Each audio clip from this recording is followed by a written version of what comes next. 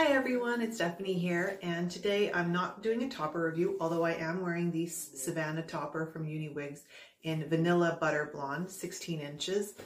Rather today, I wanted to, to go over another uh, another thing that I tried to grow hair that unfortunately did not work for me. And what that is was acupuncture and some Chinese uh, Chinese supplements that that my acu that, that my acupuncture doctor gave to me in conjunction with with acupuncture. I did this. I'm 39 now. I would have done. I did this when I was probably about um, 35. So it was a few years. It was about four years ago, and I did. I did acupuncture on my scalp for about seven months, and I was going about twice a month as well as taking as well as taking these hair growth supplements that this doctor formulated himself and, and made himself. I was really excited to try this. This was a different kind of therapy that I had never tried before. And he told me that he had had a lot of success with, with other, with, with other patients and that, that they were able to grow a lot of hair around their crown area. So very excited. I noticed within the first two months, which got me very excited, that there was a little bit of just a little bit of growth around the hairline. So that got me very excited. And since we're talking about hair loss, I'm going to take this topper off for the for the rest of the video so you can see you can see what I'm talking about here.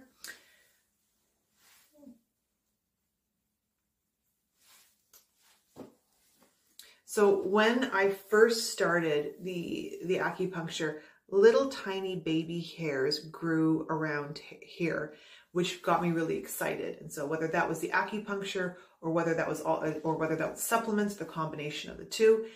And then as time went on, uh, there was, there was nothing new. And the, even though the doctor was very nice, he kept on trying to be hopeful and saying, oh, I, I, I think I see growth there. I, said I think I see growth.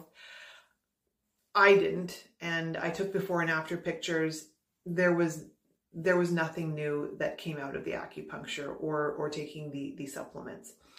Uh, any of the any of the new growth I got after I stopped, uh, that that was gone. We're talking it was just tiny, tiny amounts. So really nothing that really nothing that I can call a success in terms of that would have made seven months of acupuncture going twice a month and taking supplements worth it. It was, it was not worth it. Uh, there were supposedly people who did this treatment that, that that was able to regrow hair.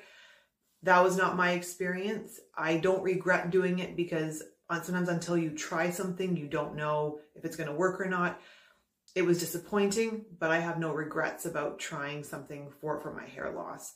Uh, it was not, it was not, it was not very painful. So it was not invasive. It wasn't like I was going through anything that was really hurting my body. There was nothing, there, there, there were no negative impacts about the acupuncture. It honestly didn't even hurt at all. Uh, but it just was disappointing because it didn't work. So I can say for, for me, acupuncture and the Chinese herbal supplements that I received, it didn't work.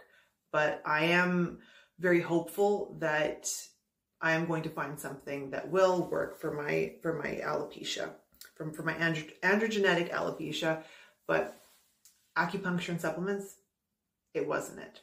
Until next time, thanks. Bye. Me again, just wanted to remind you that I am not a doctor and that anything that I'm recommending in these videos, whether it's medication or a treatment or anything that hasn't worked for me, this is just purely my own story, my own experiences. If you do want to try anything that I'm recommending or anything that even hasn't worked for me, please consult your healthcare professional before you go and try anything. Thanks. Bye.